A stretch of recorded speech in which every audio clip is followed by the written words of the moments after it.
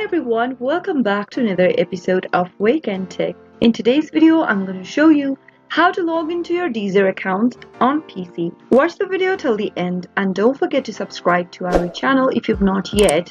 Press the notification bell icon so that you'll never miss another upcoming upload from us. To log into your Deezer account, first open up a web browser on a computer. In the URL box at the top, type in www.deezer.com and press enter on your keyboard. From the official webpage of Deezer, go to the login link at the top right hand corner and click it on.